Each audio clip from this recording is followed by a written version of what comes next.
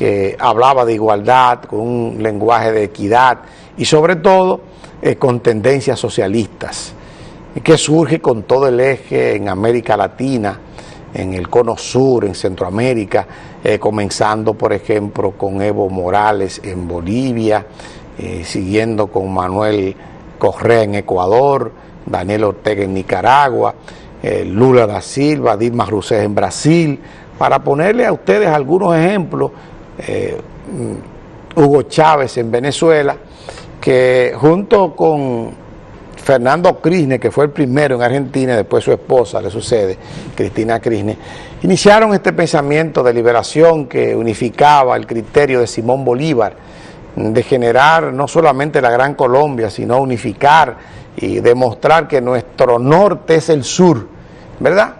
Y que es el centro y que el continente americano no es Estados Unidos, sino que son 35 países.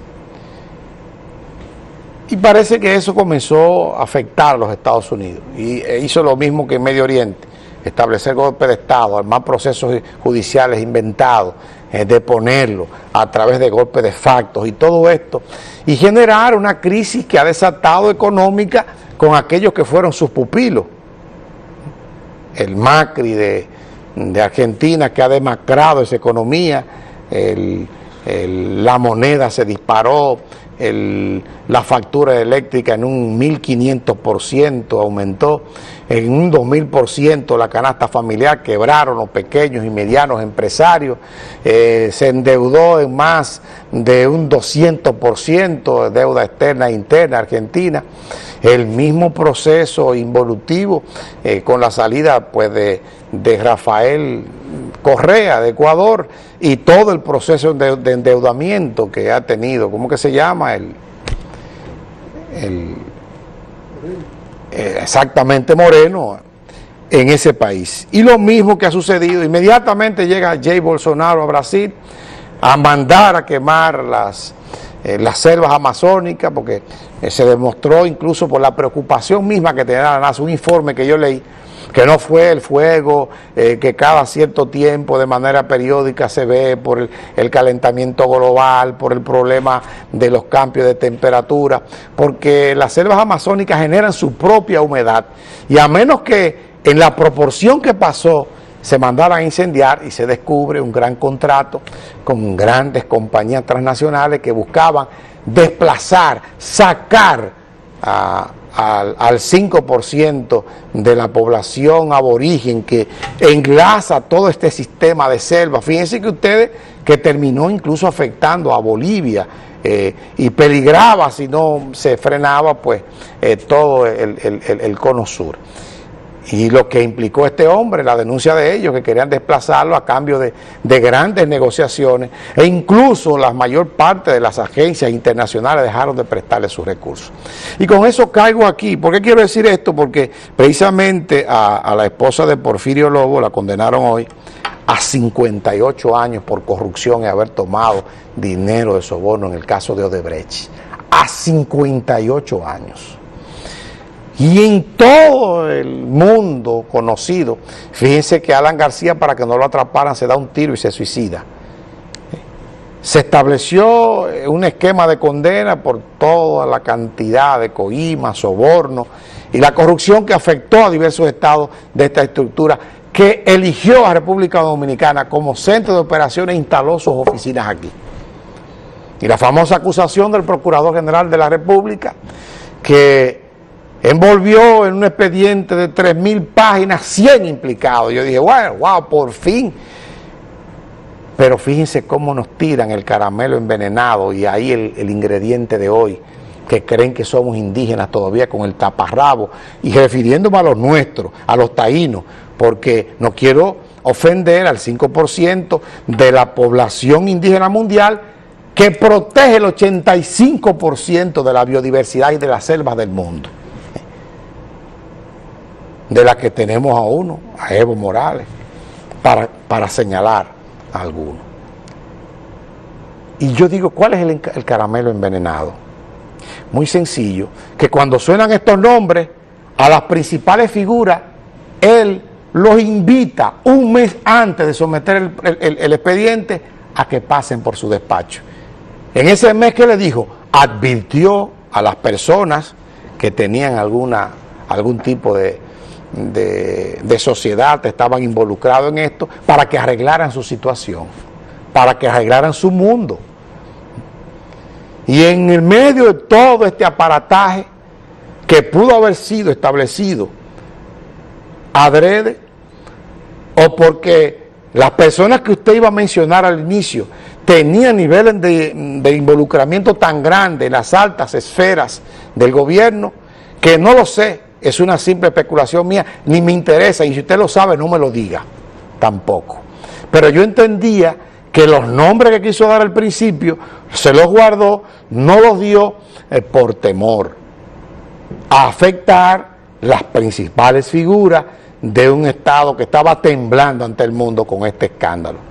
Y de esos 100 terminó en 50, para no decir los 85, de los 50 terminó en, en 40, de los 40 en 25, de los 25 en 16, los 16 terminaron en 6, los 6 en 5 y sabrá Dios ya, al final no queda ninguno.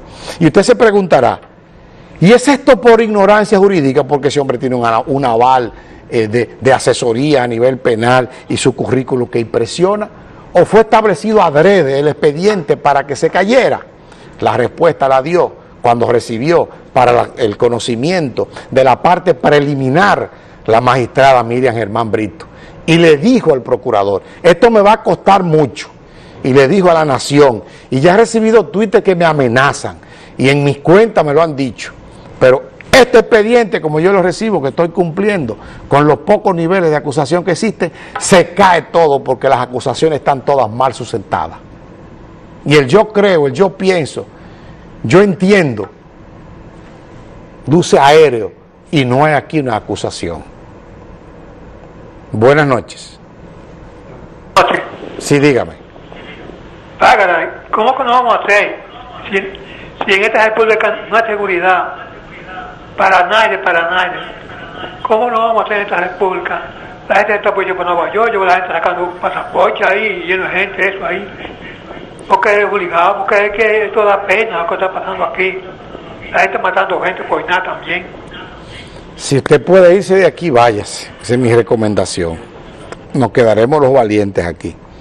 Y termino preguntando, ¿fue solamente un escándalo?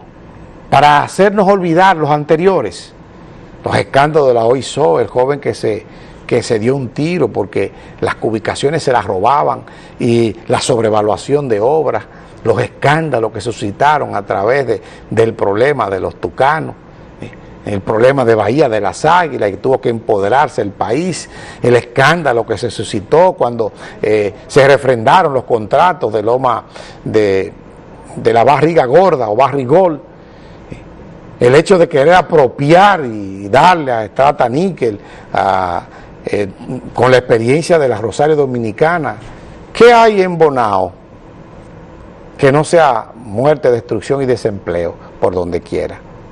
Para que se olvidaran todos los escándalos, hasta los tucanos que estaban por ahí. El último implicado, que era el coronel Piccini, está libre. ¿Y por qué yo digo del paralelismo? Porque a raíz de todo esto variaron todas las medidas, se ha caído todo y no se ha presentado, como dijo la magistrada, a la que le preparó él de manera personal un expediente acusatorio en una evaluación, que si hubiese sido en un país que se respeta, pues a él lo destituyen. Pero él es el que cubre las faltas y los hoyos porque forma parte del sistema, adrede o no. ¿Y dónde cae el paralelismo? 26 o 30 implicados en el caso de César Emilio Peralta, una supuesta red que hay 13 prófugos y le someten unos primeros 10 o 12, 10 o 12 personas. De todos los implicados, de los últimos que quedaban, dijo hasta la saciedad el Procurador General de la República que para el encubrimiento de sus actividades ilícitas, la figura número uno era ya de Rafael Jaques Araujo, Jaque Mate.